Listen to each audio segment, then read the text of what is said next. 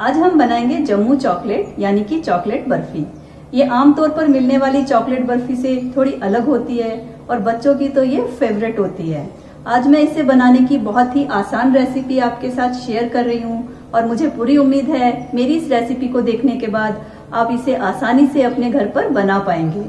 और मेरा ये वीडियो आपको अच्छा लगे तो इसे लाइक और शेयर ज़रूर करें और मेरे चैनल को सब्सक्राइब करना न भूलें। चॉकलेट बर्फ़ी बनाने के लिए हमने एक कढ़ाई में एक टेबलस्पून घी को गर्म कर लिया है। इसमें हम मावा डाल देंगे। हमने करीब 300 ग्राम मावा लिया है। ये डेढ़ कप मावा है। और इसे हम लगातार चलाते हुए तब तक भुनेंगे जब तक कि मावा सॉफ्ट ना हो जाए और गैस की फ्लेम हम मीडियम कर देंगे। मावा सॉफ्ट हो चुका है। इसमें हम थोड़ा नींबू का रस ऐड करेंगे। हम करीब दो छोटे चम्मच नींबू का रस ऐड कर रहे हैं। और इसे लगातार चलाते रहेंगे।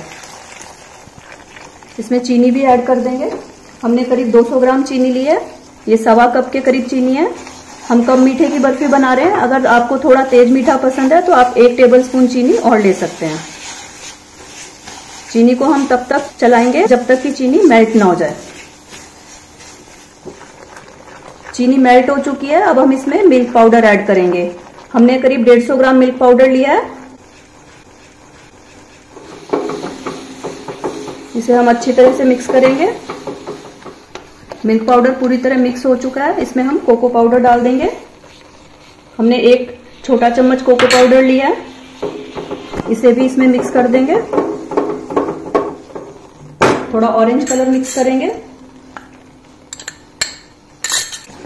हमने करीब एक pinch orange food colour add किया है। हम इसे अच्छी तरह मिक्स कर लेंगे। अगर आप फ़ूड कलर ना डालना चाहें तो आप इसे स्किप भी कर सकते हैं। लेकिन फ़ूड कलर डालने से इसमें चॉकलेट बर्फ़ी का ऑथेंटिक लुक आ जाएगा और हमारी बर्फ़ी ज़्यादा सुंदर दिखेगी।